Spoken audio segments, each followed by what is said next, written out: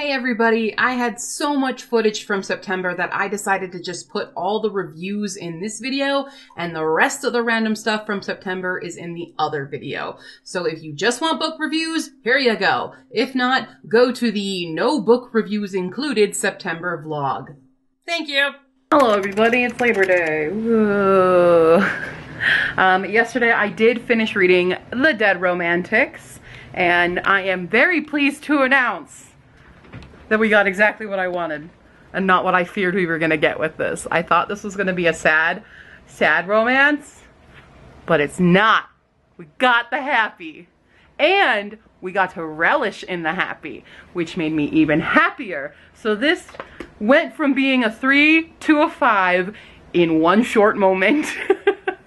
and then, well, no, it went to a three to a four in one short moment. And then it went to a five for giving me that relishing moment of it. So this is a story about a girl who is a ghostwriter um, for a very popular romance novelist, and she does not believe in romance anymore because she just she a year ago uh, was horribly betrayed by the guy that she thought was the one and stuff, and um, then uh, is going to meet her editor, who is a different editor now that she didn't know was being replaced, and.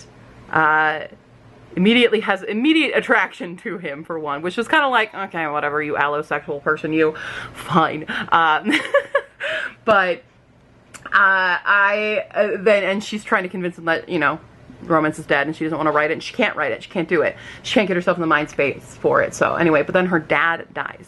Now her dad is a, uh, runs a mortuary and he is tragically passed. Now, he, she and her dad also have the ability to see ghosts. Um, and this is why she left her small hometown uh, 10 years ago and it's never been back. And now she's back and it's a struggle because, you know, her dad's dead. Her siblings are kind of conflicting with her. Uh, one in particular is. And it's really hard to find it. And then another ghost shows up. The ghost of her editor.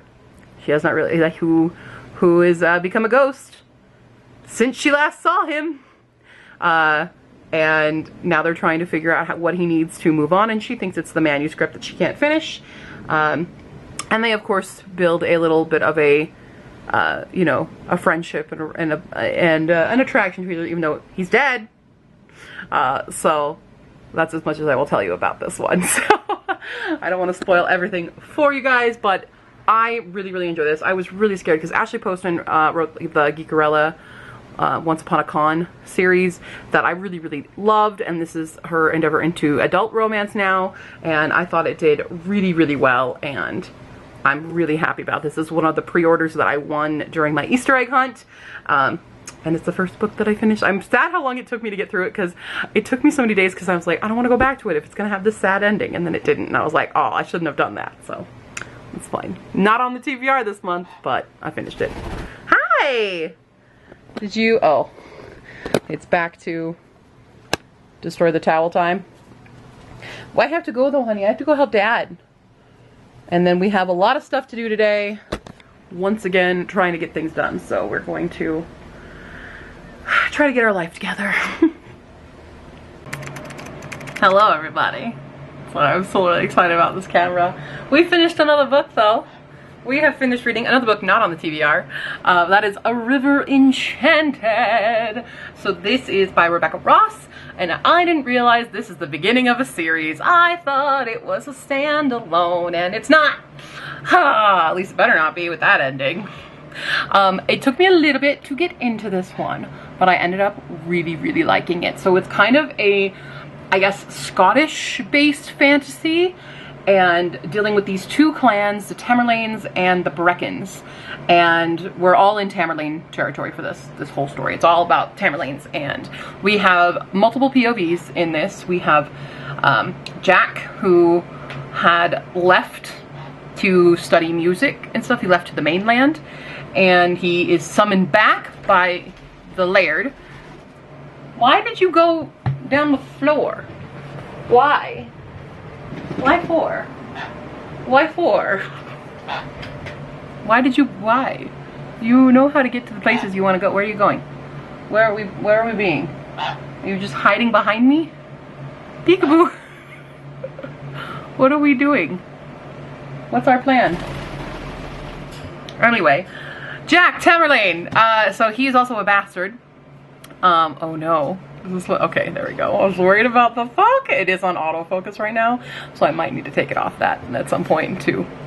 I'm getting used to the camera, leave me alone. Um, so anyway, yeah, he comes back, he uh, is studying, he does the harp, that's why there is a lovely harp on this, but he does musica, and uh, finds that he was actually not summoned by the Laird, but by his daughter, the heiress, who is also an old rival of his. They call each other, uh, or she calls him her old menace. Uh, so there's a bit of that, the tension of that there.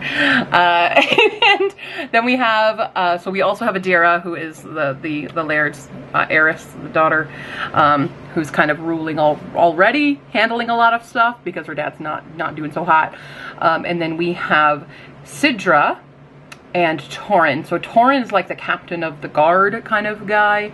Um, no one crosses into Tamerlaine territory without him knowing kind of thing. I, I, don't know if there's like a magic behind that. This is very, it's fantasy, but it's more magical realism, like a historical magical realism um, is what this more so felt like um, because this plan, they, they talk about the folk and they think that the folk are kidnapping their, their daughters. So there are a lot of girls, little girls going missing and they're trying to figure out why why the folk are taking them or if if it is the folk taking them. And in order to communicate with the folk um, Jack has to play play for them uh, to gain their attention. So they he plays for the folk of water and then the folk of the earth and and and all the folk until we get to the folk of the air. And because they're the most powerful ones everybody the other folk is sealed um, just to figure out where these girls are at and also a plentitude plentitude, plentiful supply, and multitude of other secrets. Um, that are being revealed in this. And it was really really good. Um, I, it just took a bit, a bit to set it up because I wasn't sure what I was going into. I kind of forgot what this was about. Um, I bought it back in March. I think this was released in February this year. And I I just completely forgot. But now I know why I picked it up because damn it's good. But it's very it's not lyrical prose but it's it's still very beautiful prose. It's really beautiful, interesting world building with this because you're not, it's called the, it's, it's in the country of Cadence, um, which I think it's, it's just a fantasy Scotland. I think Scotland, um, based on, on stuff here that I was seeing. Or, I, I don't know, the audiobook narrator sounded much more Scottish than Irish to me. And they had plaid. Plaid was a big thing for them there's magic in it. So Jack's like mum is a weaver. So everybody, not everybody, but there was a lot of magic involvement in different things in, in enchantment, what it could do. So there was a, a good limitation in the magic, which I really liked. Um, that's why it, it really felt more magical realism than straight up fantasy for this. So I'm gonna say it's a historical magical realism that's what I'm classifying this as. But I really, really liked it. I need to find out when this sequel is coming out. Actually, real quick, while we're on a break. Is there a planned sequel right now? Because there better be. There really better be. I will be quite perturbed because it does list it as one on here. Oh god. A Fire Endless. When oh, it comes out this year. It comes out in December. Yo, okay, okay, okay, okay. So this is a duology, so this will finish. Okay. So now I feel like we're, no, we're, we're going to, we're going to be in the West and the East for the sequel, so. Because that ending, yo, yo, but like, okay, good. Just need to bump that up on the priorities uh, because I really like this. This was fantastic. I'm gonna give it 4.5. I'm taking the half star away just because of how long it kind of took me to get into this and kind of understand this world. It took a little bit more brain power than I was anticipating having to do. So, uh, 4.5. Let's see if the sequel can bump it up to, bump, bump itself up to 5. And then we'll have a, a 5-star duology. Uh, okay, I have to get back to work. Great. We finished two books today. Finally. Finally getting through.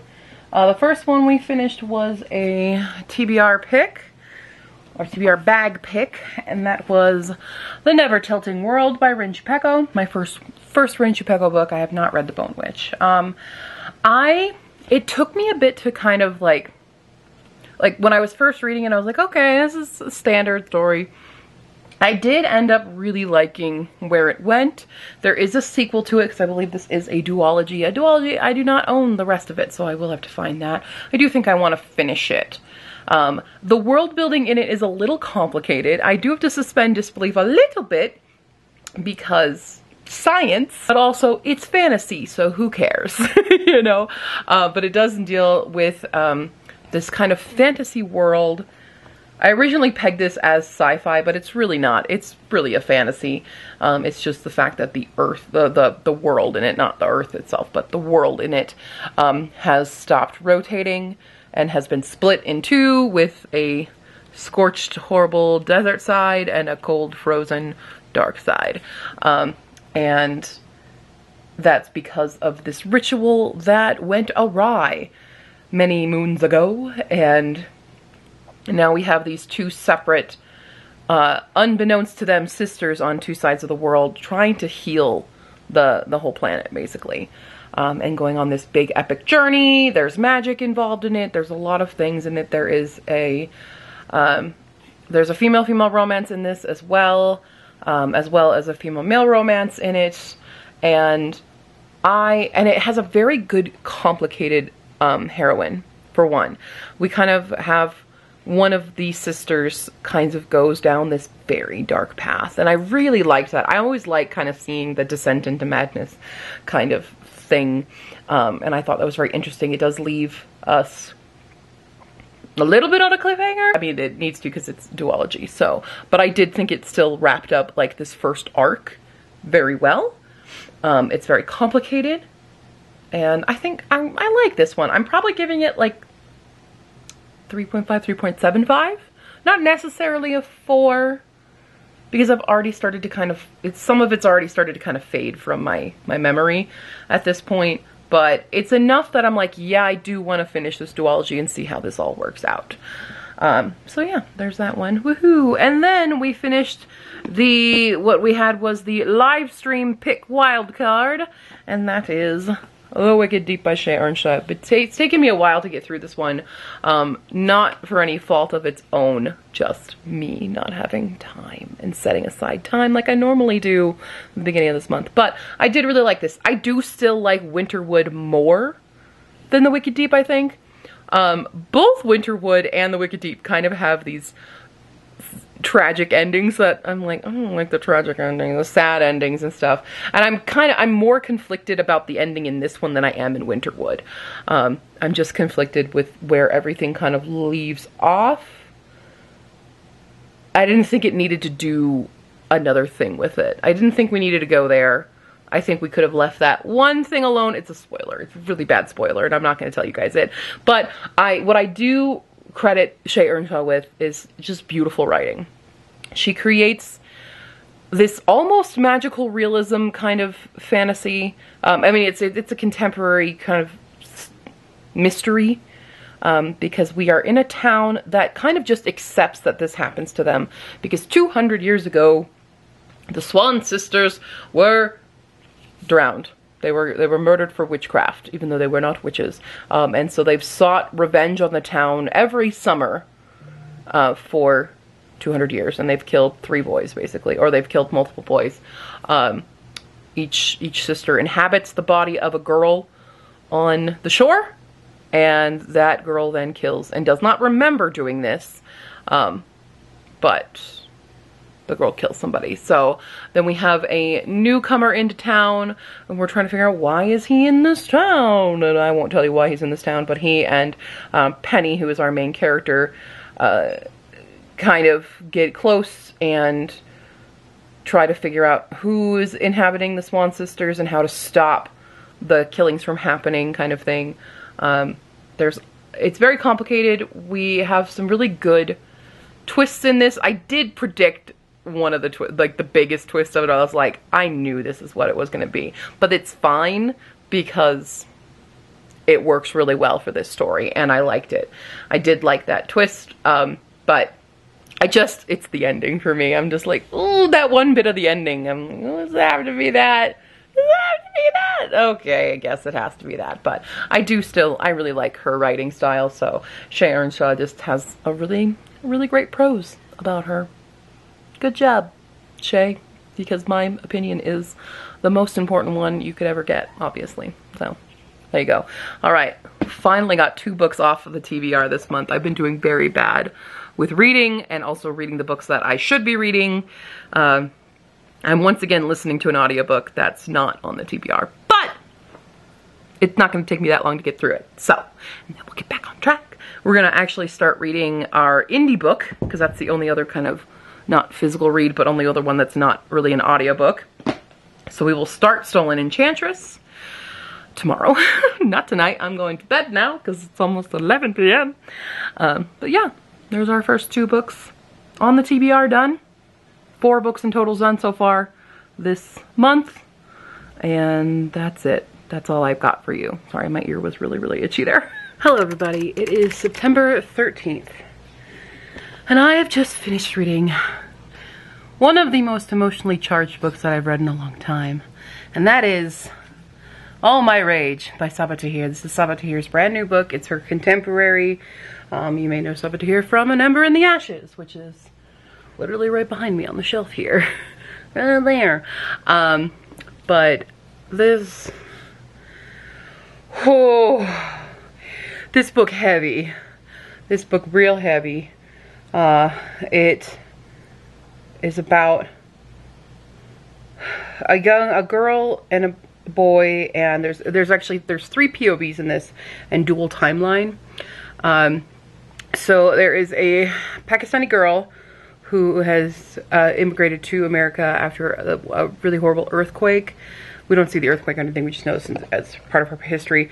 Um, and she comes to America and, and learns English and uh, going to school and is living her life under the care of her uncle, who's her only living relative now because everybody pretty much died during the earthquake. And her best friend, Salahuddin, is uh, the son of a woman uh, who owns this motel. When they immigrated to America, they bought this uh, motel called the Clouds Rest Inn Motel. Um, but his mother is very, very sick um, and passes away from a kidney disease. Um, and this is kind of the catalyst of everything that goes wrong in the story for this. It is very emotionally charged with topics of um, grief, racism, and domestic violence, drug use, a lot of very heavy, very real topics. Now, normally those are kinds of, um, especially things with drug use and stuff, are tropes and things that I don't like reading about. Um, it is very well done in this book. Um, I do know that Sabaa Tahir, I believe, said this is based off of her own experiences growing up living in the hotel. Um, I need the, or in, in a motel. It is fiction, but I don't know how much of it is really kind of based on her own reality as a teenager. Um, I don't know. I can't verify that. Um, but the, I mean, I'm, it's, a, there's a reason this is called All My Rage, and boy did I feel the rage of these characters, and well deservedly, and I, like there's so many moments in here where you're just so angry at the world around them. and a little bit angry at them sometimes for their, their mistakes, but you know, these characters are flawed and they make mistakes and they pay for those, they, they, they suffer the consequences of mistakes, uh, but so do other people who deserve so much worse.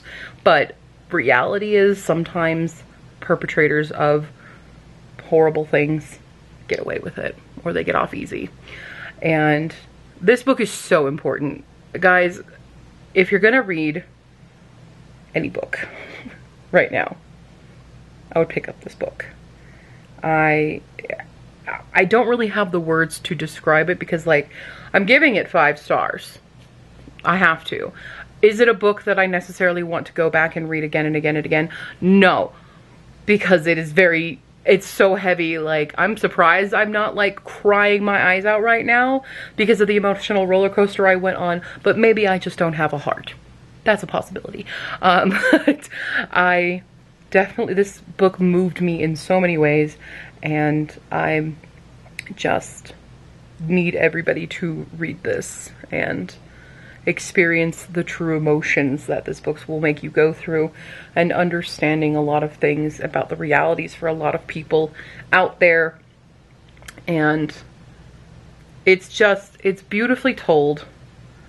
It's beautifully written which is the same thing essentially but i did listen to the audiobook which i highly recommend because those voice actors are phenomenal um, at really bringing these characters to life and i just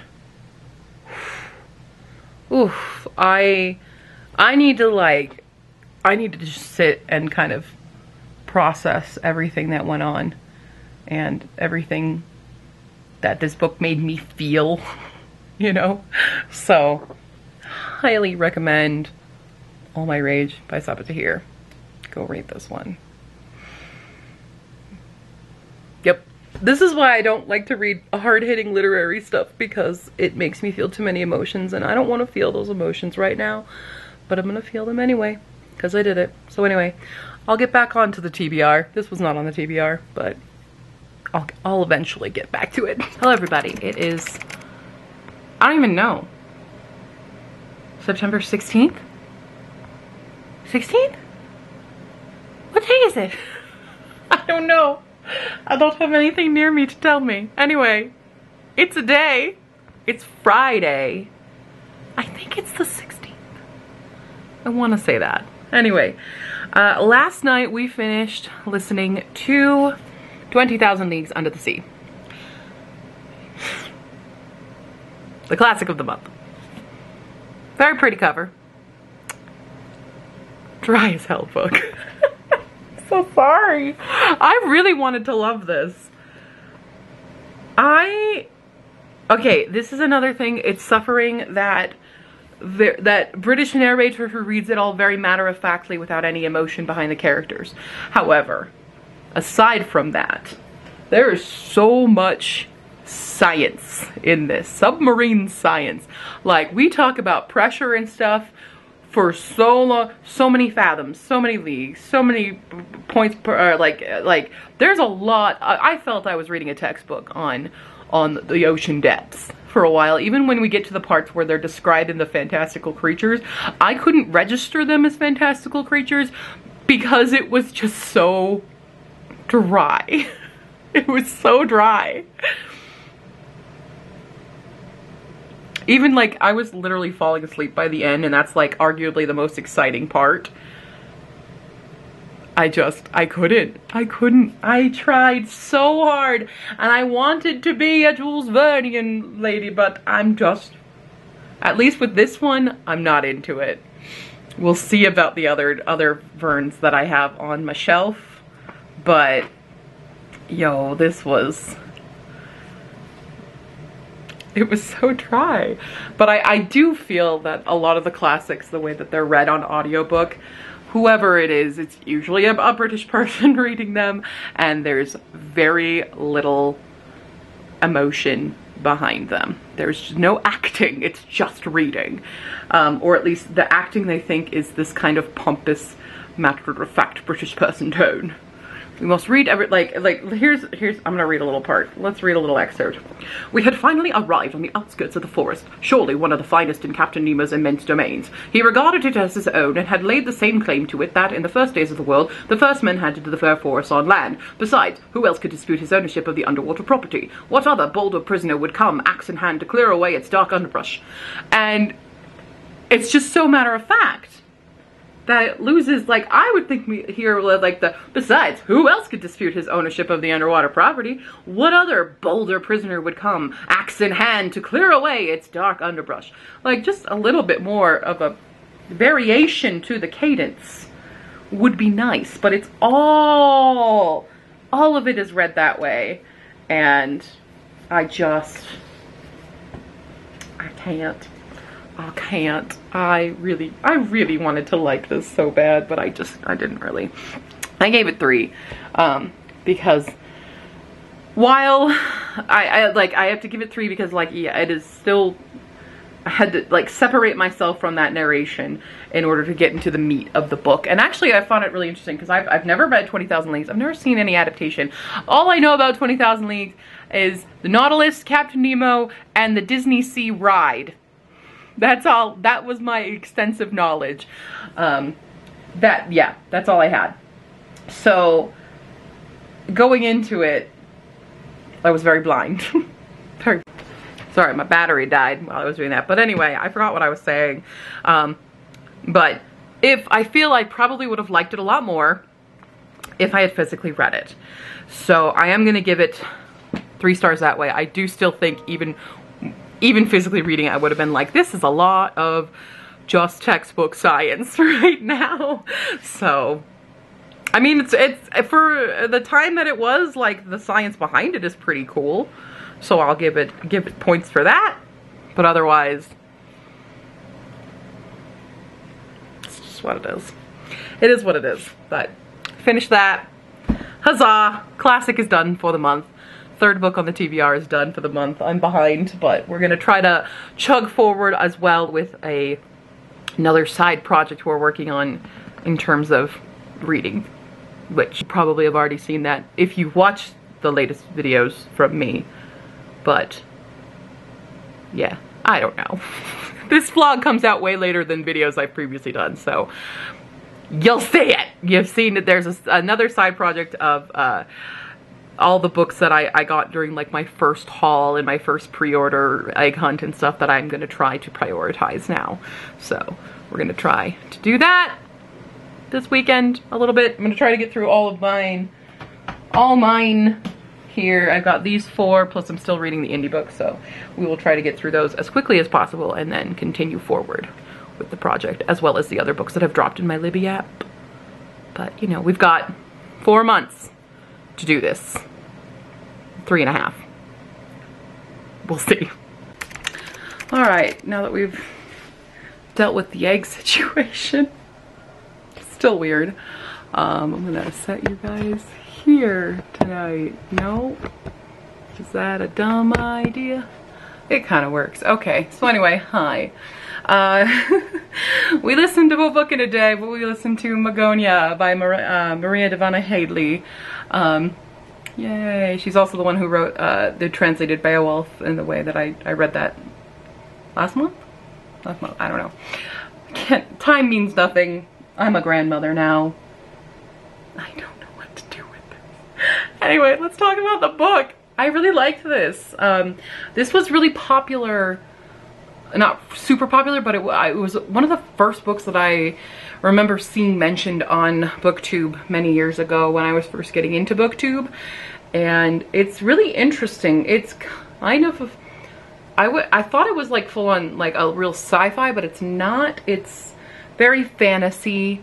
Um, it is about a girl who is very, very sick and but keeps hearing these voices from the sky calling to her and it's a little bit of this a little surreally um, and we have a dual POV here so we have her and her best friend um, uh, Jason and so we get both sides of this after things happen to her um, actually I think it's mentioned in here yeah Yes, so it's mentioned in the blurb. So she dies, um, but then wakes up and she's in this world in the sky and he's still down on earth, not quite believing that she's dead, because she's not.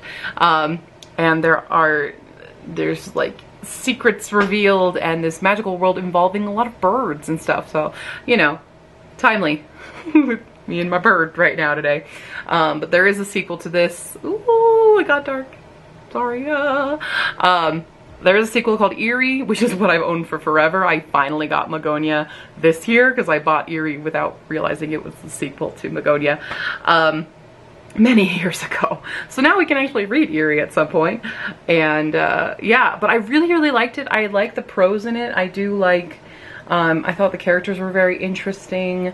And I, of course, loved the bird aspect. I liked this, it, it, like Neil Gaiman blurbs on the cover and I'm like, it does feel very Neil or Neil Gaiman. I always say Gaiman. I used to before I heard how his name was pronounced. Um, but it does feel like very a very Gaiman-esque surreal urban, not urban fantasy, but surreal fantasy, contemporary fantasy, I would say. Um, with this this world in the sky and these bird people. Also, there's there's two different types of of people uh, in that are running this whole thing, and there's kind of like sky pirates, so it's a little bit stardusty in that way, uh, but it's it's very very interesting. I don't really know how else to describe it, especially without giving away too much, but I I really liked a lot of it. I don't really have any complaints. Um, I probably am giving it probably four stars, I would say, because it did do some, uh, a couple things that I was just like, okay, well, that's standard. Um, and I feel like it does feel very short, because I mean, I read it in a day. Um, and I feel like maybe this could have been a standalone if you combine Aerie, because Aerie's also very short, so maybe it didn't have to. But it does end on a really good arc and a good cliffhanger to it. Not a full-on, like, horrible cliffhanger, but it does, like, complete the story. I do really like what we do with her family in the end, uh, which is not something that a lot of people do. So I was very appreciative of that. I'm sorry, it's so vague, but I like I don't want to spoil it because I do want people to read this book.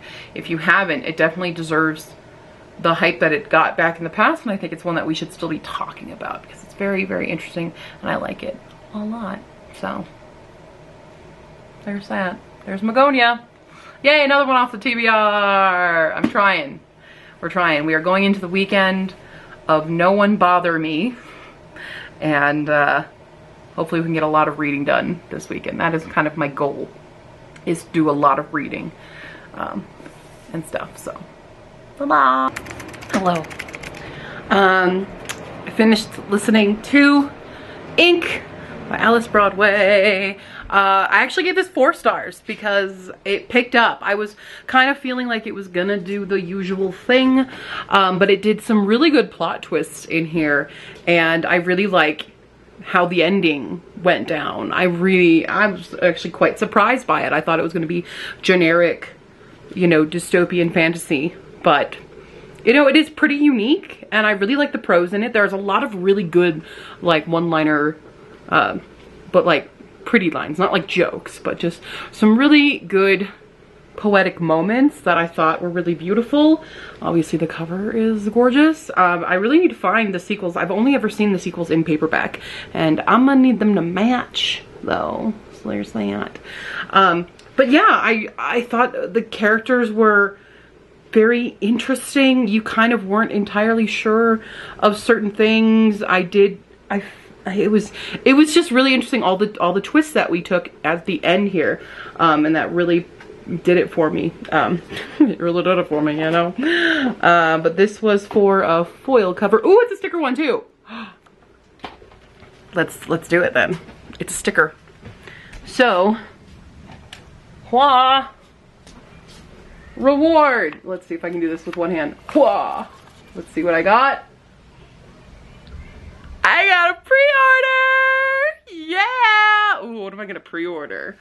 There's a few things. I'm so excited about that. Woo! I want a pre-order. I want a pre-order. Yeah. Okay. Cool. Fantastic. Thank you, Ink. Well done, Ink.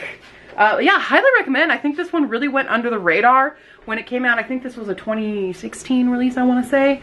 Um, but yeah, very underrated, and I would really, really very much like to read the sequel. So you stay. You do not uh, perish amidst other series and things, but yay, we did it. Another book in a day. So anyway, hi, this morning I went out and uh, I got this shelf and I got that shelf. It's not, I thought again, I I need to learn what the actual dimensions of these shelves are because I thought it was another one of these, but it's fine. It's enough for what we need right now because as you can tell, there's a bunch of double stacking going on here. Um, but Facebook Marketplace, man, that's why I.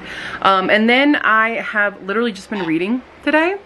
I did laundry too though, I will say that. Um, I've been reading my indie book. I've been determined to like do tasks to completion today. So I did have my spinner wheel and the first thing that I spun was Stolen Enchantress.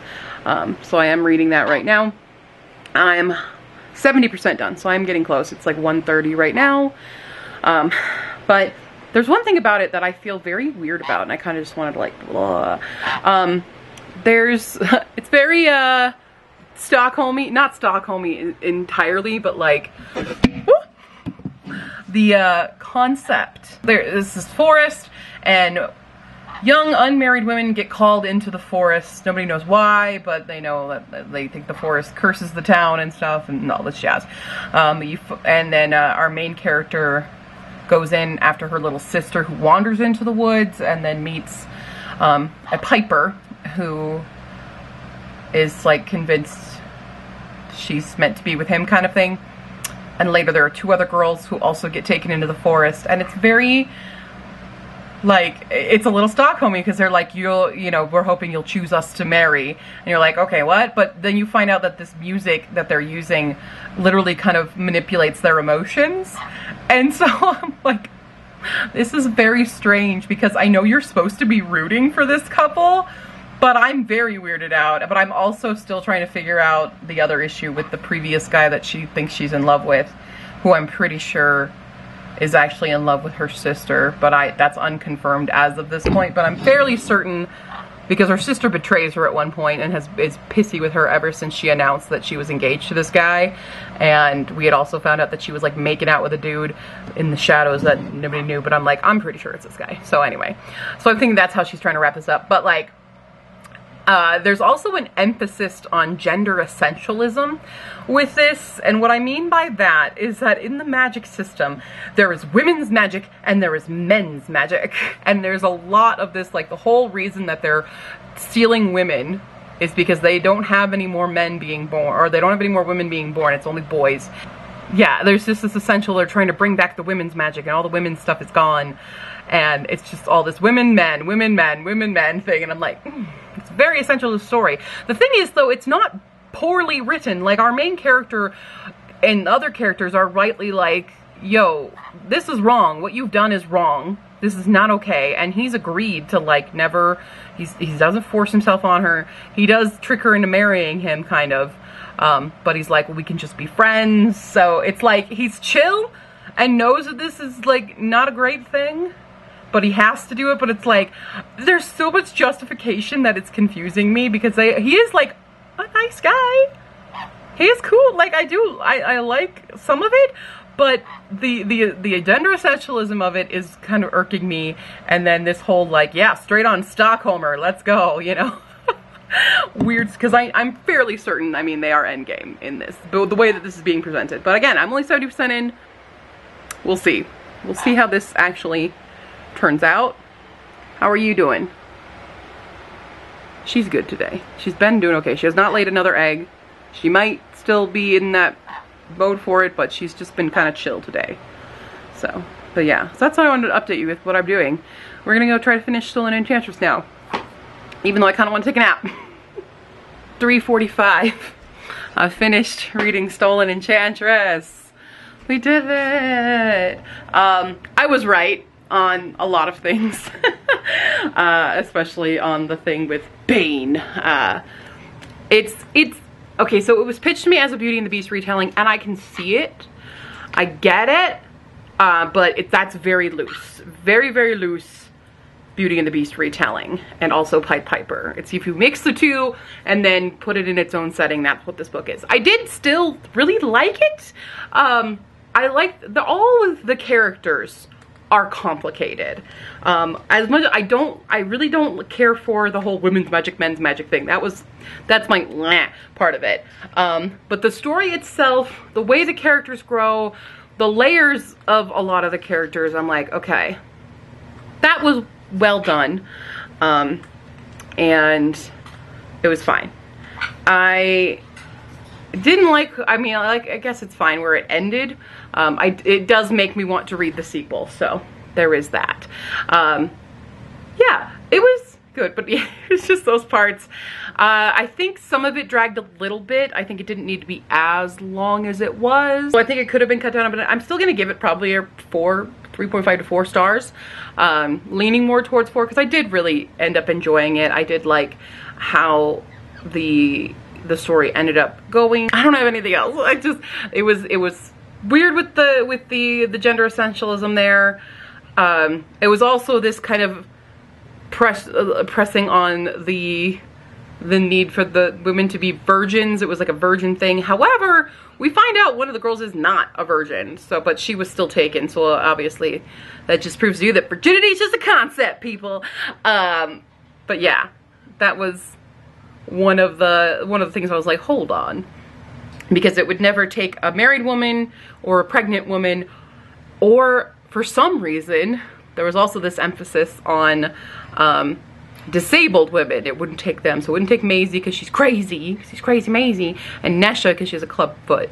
Which I don't think is true because Nesha, and also in this culture, uh, Nesha was not allowed to marry because she's disabled, which is take that's taking something from history. I don't think that's the the message the author was trying to portray. Um, that this is how it, it, it is with this magic. Um, I think it was just another kind of means of showing how the the bad men in their lives are abusing and controlling them because there's many an abusive father in this story um, and the trauma that these girls have gone through so I don't think it was necessarily the author like promoting or like agreeing with these statements I think this is just part of her world building and showing you the problems in it um, no, stay in focus. Um, you're supposed to be the good camera that stays in focus. Um, but yeah, so there's, it's kind of like up to you, read it and see how you feel about it. I, I get, I think I get what the author was trying to do. Not necessarily saying it was the best way to go about it. I did still enjoy many elements of the story and uh, it's intriguing enough for me that I would like to continue forward with it and see how we go to the next one. I think it is a four book series. Um, I don't know if it's complete, but I think it is. So there's that. So we've done a whole day of, of reading. Going to uh, spin the wheel and see what we work on next, but we're just chilling today. I'm having a day to myself, okay? I'm not putting pressure. We're just chillaxing. Let me do that. For once in my life, I'm letting myself do that. And reading a book all day long is one of those things. Even though I have a headache now from it because it was on my phone. It's an ebook. Hi everybody. September 19th. We finished this big baby. This beautiful baby. I don't know if I've ever really shown off the beautiful Jade Fired Gold. Jade Fire Gold. Thank you. I can say things. Um, I have been listening to this and almost, we're so close to finishing this baby. We're real close, but not gonna finish it tonight. Thought I might try, not gonna happen. So anyway, this baby right, why is everything is so like pink? Am I just really red-faced? I don't know, but that's fair. Um, and of course the lovely shadow of my hand. It's fine. Okay, so Jade Fire Gold. This was really, really awesome pretty, pretty fun ride. Um, the world has seven people in it. That's kind of how it felt uh, as we're like making connections between um, the two POVs that are in this. And it's really, I really, I did really like this. I like the world building. I liked the mythology in it. It's kind of a fictional China situation. Uh, we do have the legend of Chang'e, which is the moon goddess thing, which I'm just like, is that like the theme of the year for all the Asian literature I've been reading? A lot of moon goddess uh, like legends. A lot of that.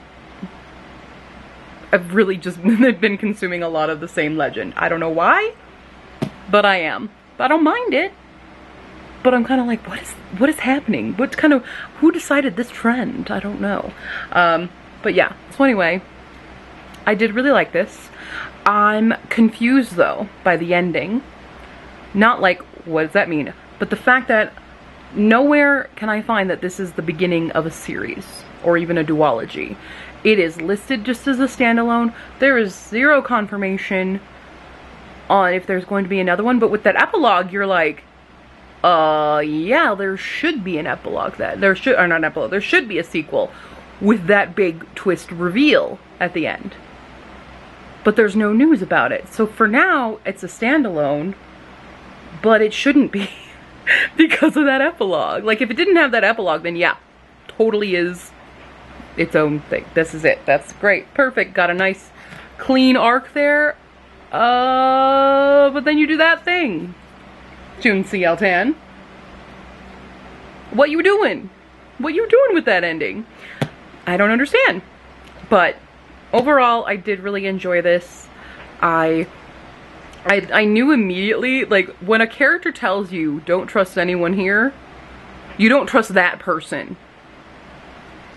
And well, it still worked out okay, but like, that is just like such a line that I find that I'm like, well, not gonna trust you then. If I was the protagonist, don't do that, you know. But I'm not a protagonist, apparently. Um, no one's ever said that to me. Um, but yeah, I, I did really, really like it. I think it is a, a pretty nice, it's not like amazingly epic story, but I mean, it, it's epic in its own way. It's not necessarily full five star for me. There were points where I was like, I drifted a little bit, so I wasn't fully enraptured by it at all times, but it's still four to 4.5-ish on this one. So I did really, really like it. I think it's just a great one. It's really nice and I don't know, I don't have any other critique really about it. It's nice, it's good, it's fun. I'm terrible at praising books when I like them. Read it, it's good. I enjoyed it. I want to know if there's a sequel. That's my biggest gripe right now is, is there a sequel? Because of that epilogue. Hmm? Hmm? I think there should be. So, there's that. Um, it is 9.15 and I need to decide what to do for the rest of the night. I can either continue reading Guardians of Dawn or I can do video editing. Which I'm leaning towards just reading Guardians of Dawn. Hello everybody. It is September 22nd when we finished husband material. And sorry, sorry, I need to get in into the light for this. Hi, we finished husband material. This is the sequel and conclusion uh, to the London Calling duology, with the first one being boyfriend material, which I read earlier this year, I think in February, March? March, I think March. Uh, the card for this baby was, oh, it's another sticker card. we're gonna spin the wheel. But anyway, um, I did really, really like this. The thing I love about this duology is like, so a lot of people will compare this to Red, White, and Royal Blue, and I feel like that's only because they have similar styles of cover and it's a male-male romance. Other than that, they're very different. Um, and because in boyfriend material we have Luke and Oliver it's a fake dating trope in the first one um, and you know they catch feels and stuff but it's very realistic with their own internal trauma and stuff. And so in the first one, we do a lot with Luke and his problems with being betrayed by his former long-term boyfriend, being sold out to the media because he is the son of a big rock star um, who also like abandoned him as a kid. So he's got a lot of those kind of issues. And Oliver is like this, he's a barrister, he's a very logical, safe kind of guy who also has his own issues, but we don't explore that as much in boyfriend material as we do in husband material with this one. Um, and it's kind of their exploring what their future really means to them because it's two years later and all of their other friends like around them are getting married. Um, his ex-boyfriend who betrayed him also gets married in this and, you know, makes him come to the wedding and he gets married to a very James Charles-like character, which I found is very interesting. Um, and then uh, it's, you know, them trying to figure out is, is marriage for them and, and going through stuff. The thing about this is I think I, I, it abruptly ended for me and I wanted more. I wanted almost an epilogue of where do they end up after making this decision at the very end of the book. Um, so I'm like, is there going to be a third book? Will there be something? I don't, I hope it's not something like father material because the whole thing about this is not doing heteronormative things and stuff, but I wonder what the third book could be if there is going to be one. As far as I know, there is no confirmed third book. Um, the one that's get listed on um, Goodreads is called The Amnesia Plot. Or no, it has a new title now, but it's it's in this universe, but it's not a Luke and Oliver story. It's other characters. Um, so not an actual third book for this, but maybe that's that's it. Maybe we'll just see them in that living their best lives. Who knows? I don't know. Um, I just kind of wish we could have done that a little more. There were a few times in this where I thought the the constant spiraling almost into the same uh, arguments was a bit much, but it also was realistic giving them, and it's it's kind of a realistic approach to how like trauma just doesn't heal itself, okay? Especially when you're coming to terms with your own internalized issues, it's not a flip of the switch, you're done. So I felt that was very realistic in the portrayal of them. I do love that these two, uh, because unlike Red, White, and Royal Blue, which is very, very steamy and very spicy, this is not that at all. There are cute moments. There's a lot of fade black, so we don't really have those kinds of, of things that a lot of people took from Red, White, and Royal Blue, which is kind of like, I feel like this is a superior story to it. But I do love Red, White, and Royal Blue. Don't get me wrong. It's one of my favorite books. But and because I love Red, White, and Royal Blue for the same thing. They go through these very human experiences in a very realistic way. And that's what I really like about this duology as well, is that we have this really beautiful relationship now, because we're an established relationship in this book. Um, and it's still them figuring out themselves and how their relationship works and what it means for themselves to change and go through things and if it will, is this you know, the end of the relationship or can we do this together? Is this something I just work on myself? And it has a, it's just a really good examination of, you know, how to be, you know, in relationships and what it means to be going through changes yourself and how that will affect your partner. Um, and if it and how it'll affect yourself and it's it's just very very good and I really really like how this is. So I will probably give this 4.5 I'm not gonna give it 5 just because it did the thing at the end where it just it cuts off. So you lose out on a half point for that. But there's that. Cool. Um we have now done husband material. And that's actually the TBR for the month so I can just read whatever I want. Um I did just finish the painting. You can see, I just cleared my table. Don't look at the thing there. Don't look at that other weird thing on the table. You saw nothing. Um, but we finished it. Yay! Looks okay. It's definitely one of the, like, the paint by numbers are all things that it's like, you gotta look at it far away. Don't look at it close up, because close up, it's a big old mess.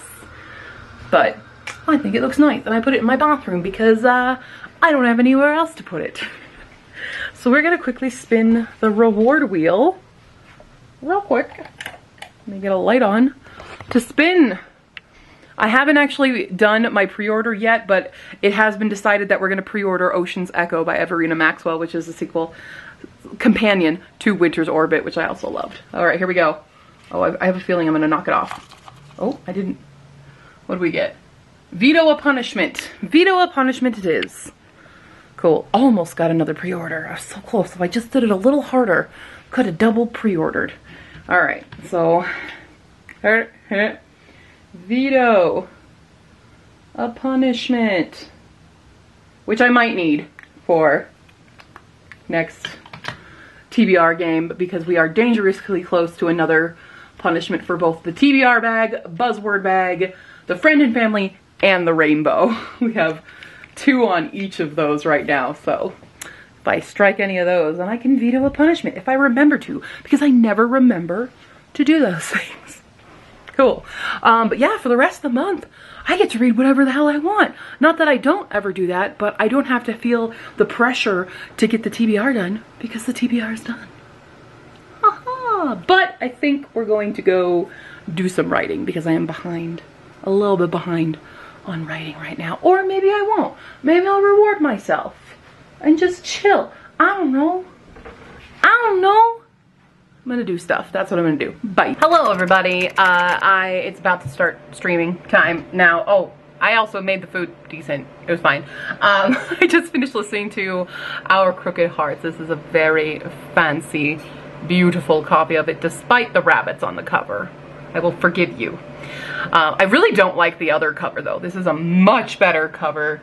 Um, I really like this. It's great spooky read. If you need a spooky book right now, I highly recommend this. I'm giving it four stars because it did lose me a little tiny bit, but it's a dual timeline, very witchy book, mystery kind of thing going on. It's very, very, very interesting, um, good spooky vibes. That's really all I have to say about it. It's got them that spooky, spooky witchy vibes. Um, very much like the, the older timeline is very much the craft and the newer timeline is kind of more the mystery figuring out what happened in the past kind of situation um, and why the spooky things are happening now because of the events that happened in the past. So if you like things like The Craft, you will probably like reading this book.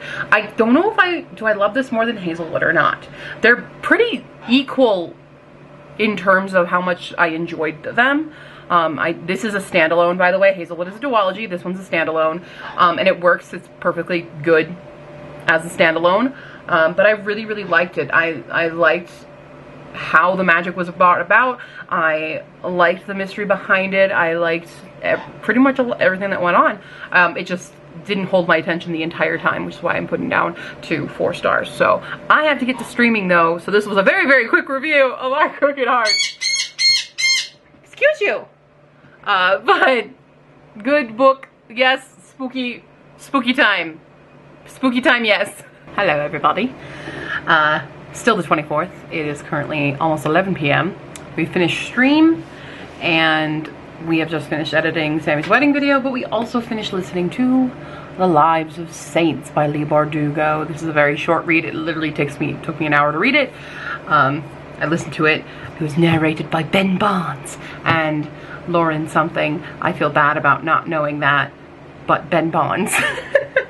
Um, the thing about this, not only is this a, you know, beautiful, beautiful book, it has absolutely beautiful stuff inside. There is beautiful artwork for each of the things. I just realized this is signed like to somebody. So to Maggie, forever thankful stories brought us together, Nicole. I got this off Pango Books, so that's why. That's how I got this so cheap. Um, but yeah, there's beautiful artwork in this. All the stories are, are very, very quick, but they all have good meaning and good little, it's a fun little expansion of the universe itself into the culture of the Grishaverse. So I did really enjoy this. If you need a really quick read, this is an excellent choice. I gave it four stars. It's you know, short stories. Short stories aren't normally, you know, aren't really my thing for the most part, but um, for those of you who, you know, love the Grishaverse like I do, this is a nice little supplemental material. Um, you know, immerse yourself a little bit further into the world of the Grishaverse and everything that Leigh Bardugo creates. Now, if only I could just get myself to read Rule of Wolves. Gotta do that. But I have been reading more of Guardians of Dawn today as well, but that is two more books done today and video done, so I'm just gonna kind of watch the the whole shebang here. Um, it is 24 minutes and 43 seconds long. Um, the main part of it is the first three minutes because that's me using their song to do this little montage kind of thing. And then the rest is a lot of just random footage, not random footage, but like performances done at the event. So um, I'm hoping that this is what she was looking for and wanted. Um, I was a little worried about it. I'm still worried about it, but it's Sammy, so she'll like it no matter what. That's in her nature, not even to not even tell me what she doesn't like about it, but I'll save all the footage in case she wants something changed or anything, but yeah, got it done time to export it and, we'll review it and then export it. Weekwa! What? Hello. Oh, sorry. Backlit. yes, ma'am. What do you have to say? yes. Hello, everybody. It is September 29th, and we're scrambling. Um, well, the TBR is fine, but I did just finish reading a book, and that is The Book Eaters by Sunyi Dean, and I just finished reading this one. It took me a bit to get through because I've been so busy that I've not been able to just listen to this audiobook, which it's a great, great audiobook. I did really like the narrator for this. Um, this was, it was a little bit different than what I thought it was gonna be, but I, there's a little excerpt at the end of the audiobook that's a conversation with the author and the narrator, and uh, talking about how this came to be, about how someone said you couldn't do vampires um, new anymore, and she disagreed. And so I didn't actually really place that this is vampires, but I'm like, oh yeah, it totally is.